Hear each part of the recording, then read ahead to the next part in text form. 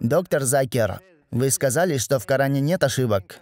Однако я же обнаружил там более 20 ошибок, согласно арабской грамматике. Я покажу вам некоторые из них.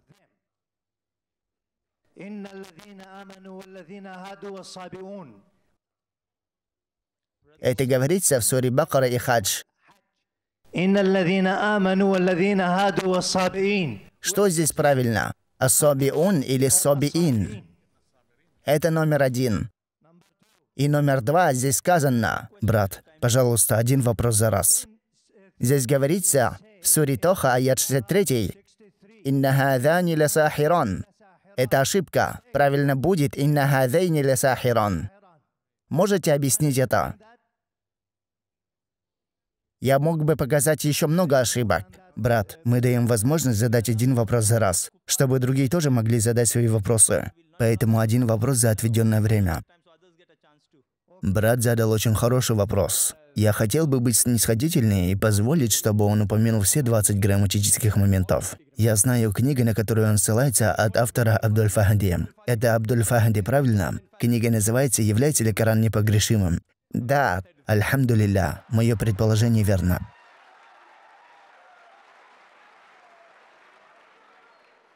Знаете, я отвечу на все его 20 пунктов, потому что я прочитал эту книгу. Я отвечу на все 20, иншаллах.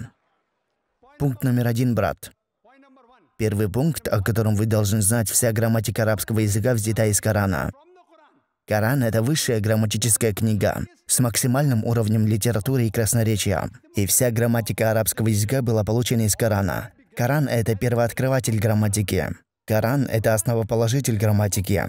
И так как Коран – это учебник грамматики, и вся грамматика произошла из Корана, в Коране не может быть ошибки. Это первый пункт. И пункт номер два. Пункт номер два.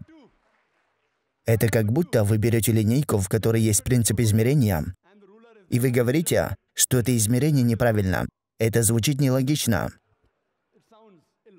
Пункт номер три. В разных племенах Аравии, и вы знаете арабский язык, и доктор Уильям Кэмпбелл также согласится со мной, в разных арабских племенах грамматика продолжает меняться. В некоторых арабских племенах одно слово женского рода и то же слово в другом племени мужского рода. В разных племенах грамматика продолжает меняться. И даже род какого-либо слова меняется. И ты будешь проверять Коран с подобной ошибочной грамматикой? Нет.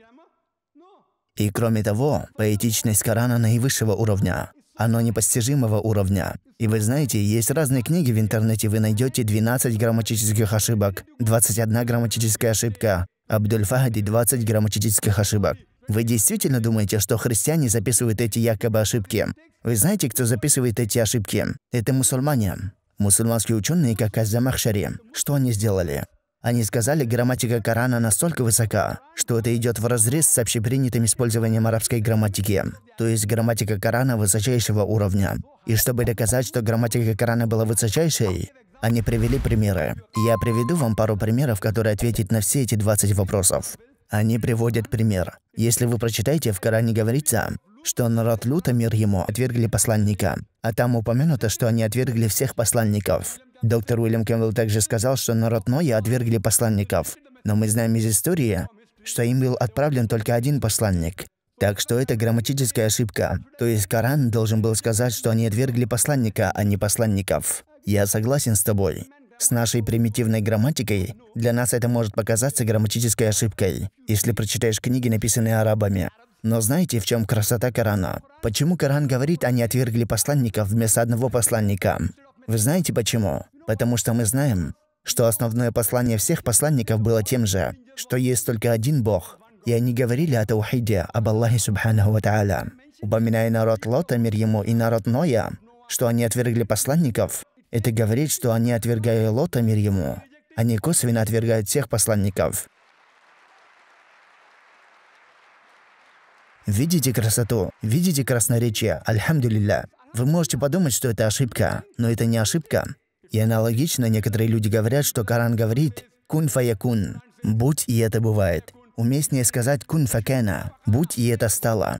Я согласен, что в прошлом времени по-арабски говорится «кун факена», не «кун фаякуну». Но кун фаякун это гораздо лучше. Это говорит, что Аллах может сделать в прошлом, настоящем и будущем. Спасибо вам, доктор Найк.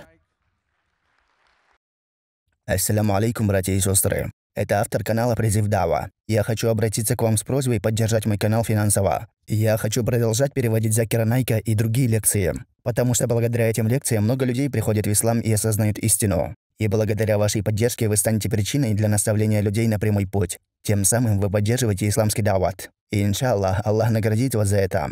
Ассаляму алейкум.